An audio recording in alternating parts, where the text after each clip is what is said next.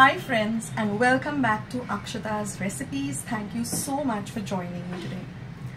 So today I'm going to be sharing with you a very simple recipe with just four ingredients. So today I'm going to be showing you all how to make a very easy, quick peanut fudge or peanut butter fudge. So I also have a recipe of how you can make your own peanut butter at home.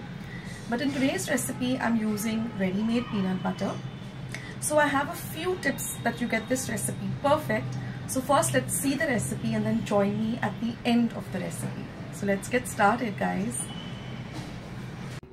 So friends, let's see today's delicious peanut butter fudge. So I'm going to start by greasing a 5 by 5 inches cake tin with butter.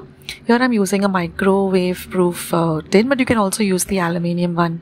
And then I'm going to be, uh, you know, lining it with some butter paper and now you can set this aside so let's start making the lovely fudge. Now this paper is there because you can easily lift the uh, you know fudge once it's set. So now I'm going to take a pan. Now I like using my steel pan. You can also use you know any pan that you're comfortable making fudge or all of your Christmas sweets. So I'm going to start by adding 3 tablespoons of butter. We're going to let the butter melt. Now I'm going to be using one entire cup of peanut butter so I have a recipe of homemade how to make your peanut butter at home. I'll leave a link for that.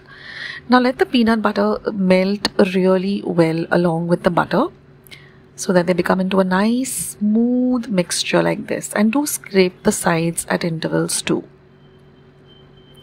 Now I'm going to add half a cup of powdered sugar which comes to about 65 grams. The peanut butter is about 250 grams.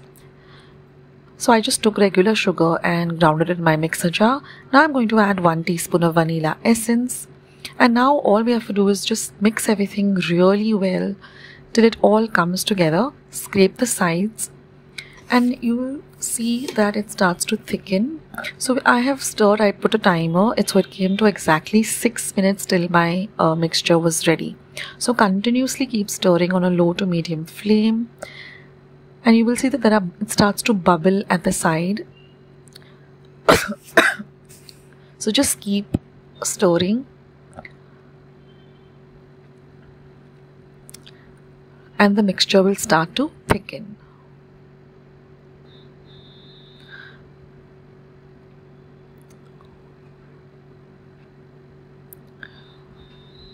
So you can see that after 6 minutes I have turned off the heat and if you scrape down the side you know it easily comes off very easily. It doesn't stick to the pan.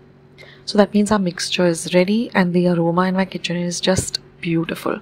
So now all I have to do is just transfer this mixture into my lined cake tin press it down smoothen it and then you're just going to pat it down gently to remove any air bubbles.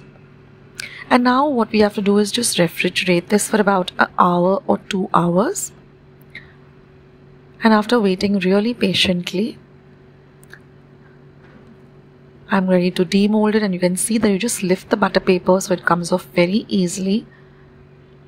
And then you're just going to cut it using a really sharp knife. Now using this silicone knife which is really really sharp.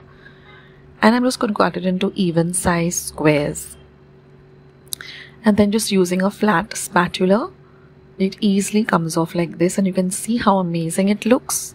Now if you're making it with smooth peanut butter, you won't get the, you know, you'll get a different texture altogether. But this is the crunchy one which we like at our home. So you don't need to add any peanuts or any nuts. So our peanut butter fudge is all ready to enjoy.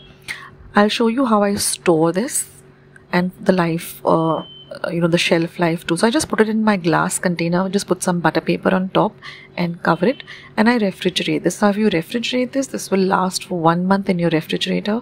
Of course it's so delicious that uh, i doubt it will remain for more than two or three days because it's so so delicious and my family really loves this. So go try out this recipe guys. So wasn't that a real simple recipe so like I said, I leave a link to, uh, you know, how I prepare my peanut butter at home, which is so simple. Uh, but like I said, I, today I'm using the ready-made peanut butter and I'm using the crunchy peanut butter because it already has bits and pieces of, you know, roasted peanuts in it along with the peanut butter. but if you want a more smoother texture then you can go for the smooth peanut butter which doesn't have any pieces of peanuts in them so the choice is yours. But at my home we love the crunchy uh, peanut butter much more than the smooth peanut butter. So a few tips to keep in mind is keep all your ingredients ready when you're going to start the recipe. First keep your cake tin lined with your butter paper because it's easier to lift it up once the peanut butter uh, you know the uh, fudge has set. So keep everything ready and then start with the recipe now I stirred this peanut butter mixture for about 5 to 6 minutes maximum on a low to medium heat. Don't make your heat don't go to a very high heat because it will get completely burnt and it will taste you know it has that burnt effect or that burnt smoky flavor. So keep stirring gently and uh, you know uh, enjoy this recipe. It's very easy to make. It's very simple. Now another alternative for those of you who have a microwave at home uh, what you can do is you can also uh, you know combine all the ingredients together mix them really well with a whisk or you know with an electric uh, mixer and just put it into your microwave and keep warming it up on the heat for about one minute. Keep stirring till you feel that okay it's come to that right consistency and then you can put it into your cake tin and it's it will get ready. So either of the two i leave all the instructions in the description box below. So if you like today's recipe then you know what to do. Give this video a big thumbs up and do subscribe to my channel if you haven't already.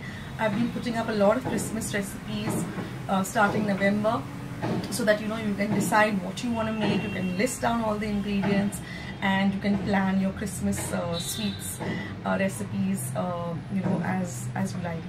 And I'm also going to be coming up with savory dishes and lunch, Christmas lunch recipes Christmas uh, snack recipes.